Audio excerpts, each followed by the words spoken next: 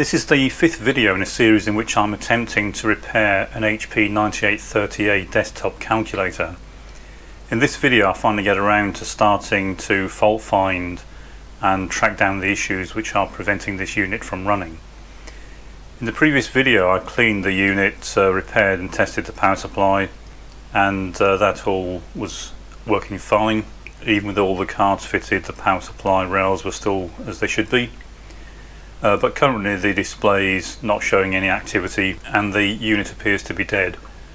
Unfortunately, a system like this, the fault could be something very simple or something very complex. It's kind of an all or nothing to a certain degree with a machine like this simply because the circuits are so complicated that they are all interdependent.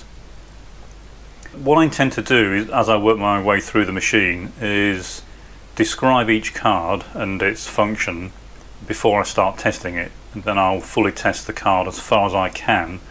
It is difficult to test them in isolation but um, I'll do that as much as I can just to try and clarify exactly the way they work.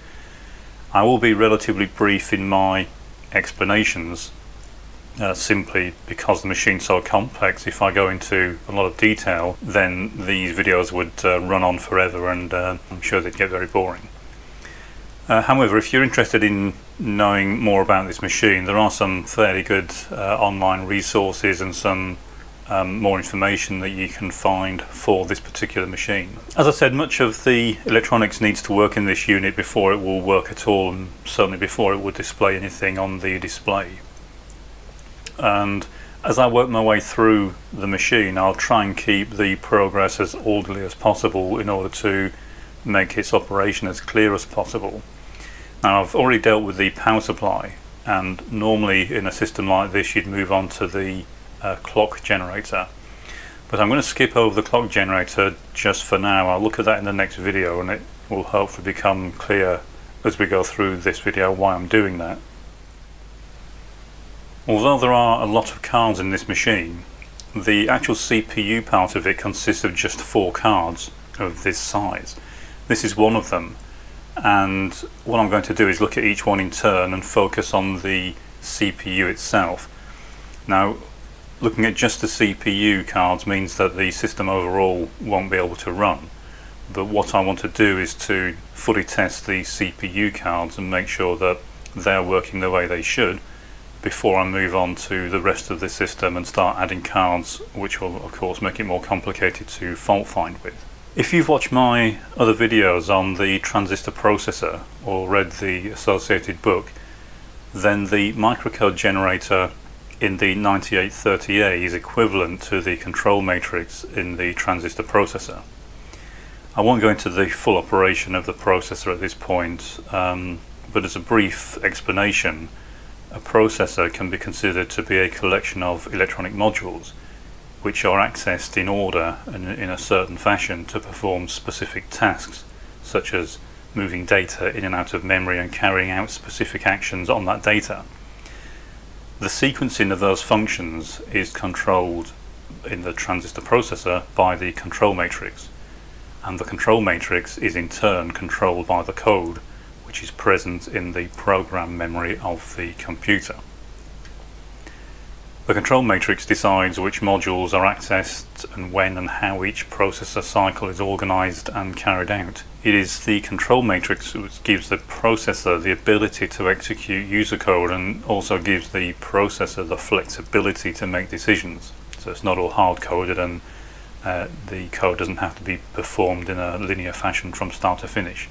It can branch and, uh, as I say, make decisions. Now the transistor processor only had a handful of instructions, it was limited to just 10 instructions.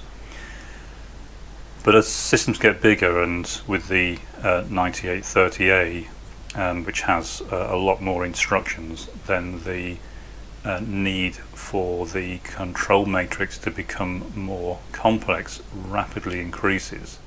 Now like the transistor processor the 9830A has a control matrix it's uh, called a microcode engine in the uh, documentation for the uh, 9830 but it performs pretty much the same task within the CPU it's just the part of the system that provides all the control uh, lines, control circuits and timing for the way that the system operates. Deciding which board to start with was the first decision and I've start, I decided to actually look at the microcode generator as the first board to try and fault find with.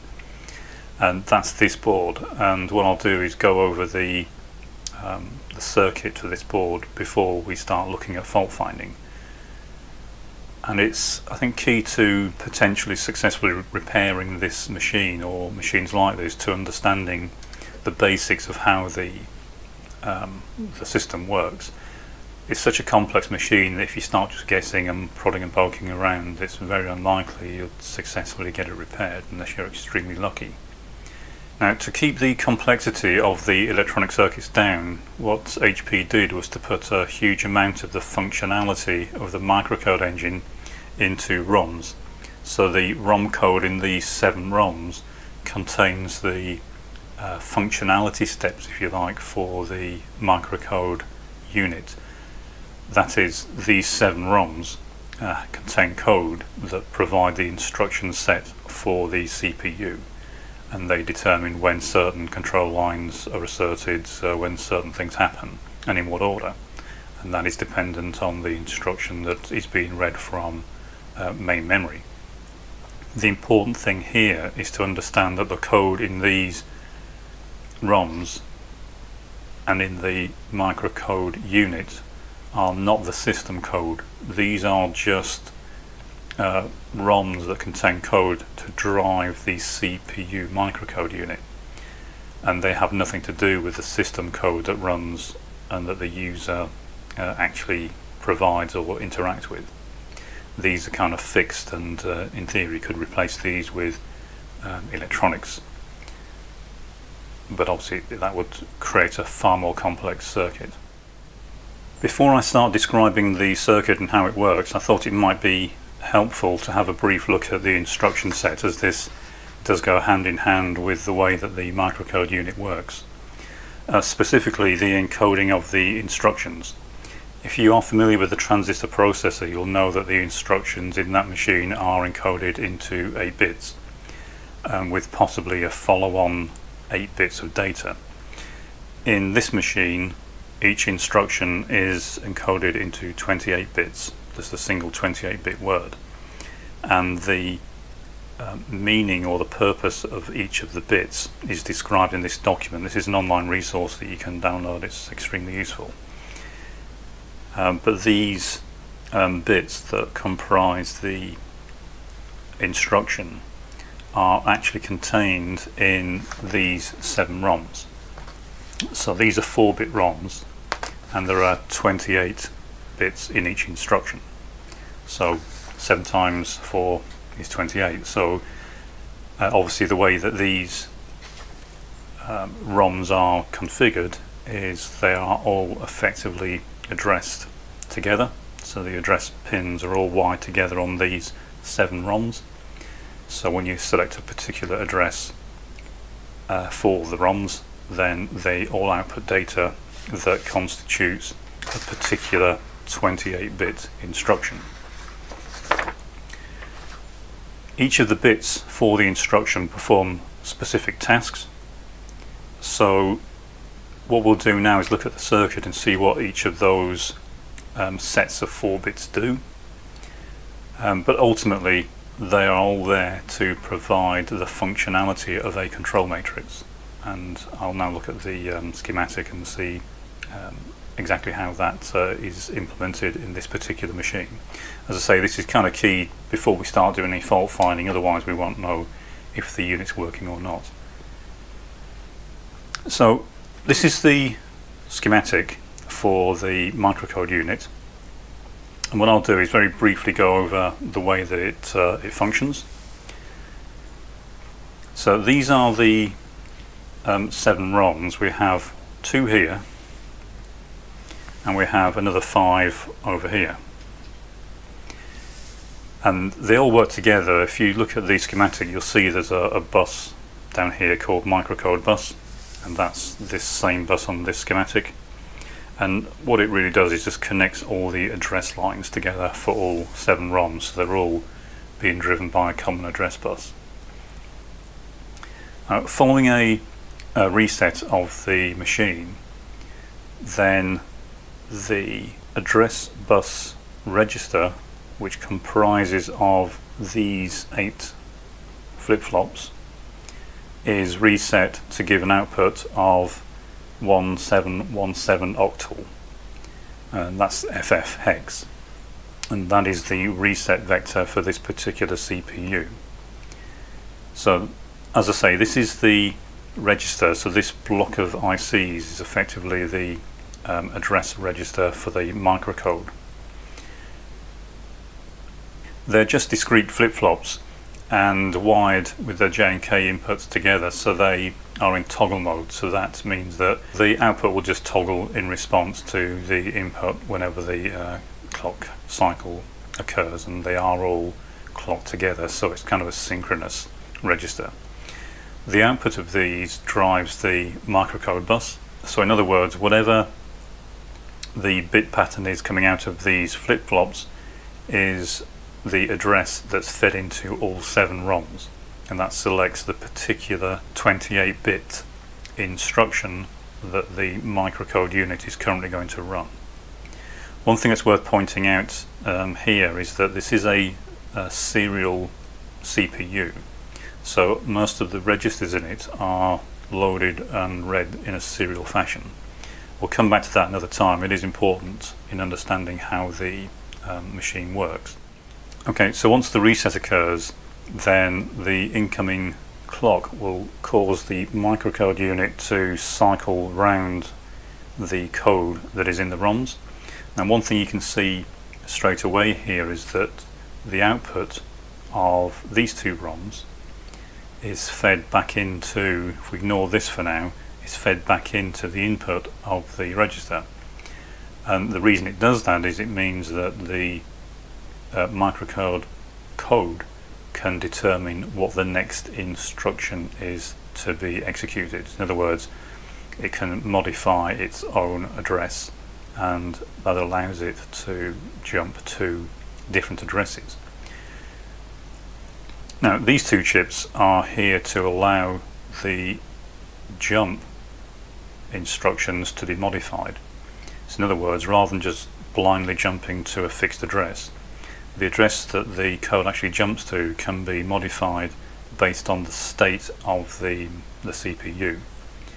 So the top one is a kind of block change that allows the, the target address to be changed and the bottom multiplexer responds to the incoming status bits so as with any processor, you have um, results of certain actions and they will vary depending on the code that's being run. And these two chips allow decision making. So in other words, the uh, microcode unit can jump to different addresses depending on the overall status of the uh, machine. So I won't go into the detailed operation of this. It's, it's probably fairly clear looking at this and it becomes clearer as we see what each of these lines uh, actually does. This incidentally, if you're looking at the master chart or master diagram for this processor, is this is the Q register and it has certain specific functions that are to do with um, responding to different status requirements in the CPU. Uh, and they're fed into this multiplexer and this is used to modify the uh, lowest bit in the microcode bus register and these bits are, as I said, just um, uh, they change in response to the status of the previous actions of the CPU. So this organization of having this these bits fed back and allowing it to respond to the status bits within the machine allows the microcode unit to effectively make decisions as to how it's going to perform the next step within the microcode sequence. But again, bear in mind this is not the system code that's running here. This is just the code that drives the microcode unit. Okay, so just as an example of what some of these um, blocks of 4 bits do, I mentioned earlier that I wasn't going to look at the clock circuit first And the reason for that is if we look at one of the ROMs, that's one of these seven ROMs, is uh, this device. And the four bits coming out of it are labelled CC1, CC2, CC4, CC8. If we look at the clock generator schematic, which is this, you'll see those same four bits come into this device. This is used as a divider within the clock circuit. Circuit, so we have the master clock going out. The same clock then goes through this divider and the output then goes through and is used to drive the microcode unit. What this mechanism allows is the microcode unit can load whatever um, bit pattern it wants on these for each instruction, each microcode instruction. And that means that for each instruction it can load this divider with whatever division value it wants and this is configured as a down counter so this is loaded with a value it then counts down and then when it's counted down it toggles the output. The reason this is here is in the 9830A instructions can be variable length so they can be anything from 1 up to 16 bits. And in theory you could run them all at 16 bits and just idle away any cycles that you don't want. But this system being serial is already ser seriously compromised in terms of speed so HP did everything they could to uh, improve the performance and that means rather than idling away unwanted uh, processor cycles what it does is it just sets the number of um, bits that are required for each particular instruction and then it terminates that instruction once that number of bits is completed. In other words, it makes best use of the system by only running as many clock cycles as it needs to for each particular instruction. And it does that by loading this divider. We'll come back to the clock generator in the next video, but um, that's why I didn't start with this, otherwise it would have been hard to explain uh, what this uh, mechanism here was doing. And of course the other ROMs provide other bits that perform other tasks within the system. And these five ROMs all work together to provide the sequencing of control lines that are required to perform the various tasks that each instruction requires. Again, if you haven't um, seen the transistor processor videos, then it would be well worth looking at those, or, or, even getting a copy of the book, because that does explain in some detail um, how the control lines in a microprocessor are used to control the overall operation of the machine. Okay, so that's this in brief. Now, if you want me to go over this in more detail, then um, post a comment and I'll come back to it. But um, so I don't want to get uh, too long-winded with this. If uh, we need to come back to this and look at it in more detail as part of the fault-finding process, then I'll do that later. Uh, otherwise, I'll just give uh, brief explanations and then we'll move on to the next card. So the next step uh, in fault-finding this card, of course, is to fit it to the machine. Now, I don't have the risers yet to enable me to connect the logic analyzer to this card with it out of the machine. But this particular card is quite useful in that it has this test connector at the top. So it's a 20 way connector and that is connected to these points so it will enable me to connect the logic analyzer with the card plugged in and it also gives a good insight into what the microcode unit is doing so uh, for example I can capture or trigger on a certain address and then we can compare that with the expected contents of the seven ROMs and see if that's what they're actually outputting uh, by monitoring these lines or even directly monitoring the output of the ROMs themselves. So that's what I'll do next. I had intended to do that in this video but it's already got a bit too long so I'll do that in the next video. I'll put this into the machine, connect up the logic analyzer and we'll finally get round to looking at some, uh, hopefully some activity uh, within the CPU system.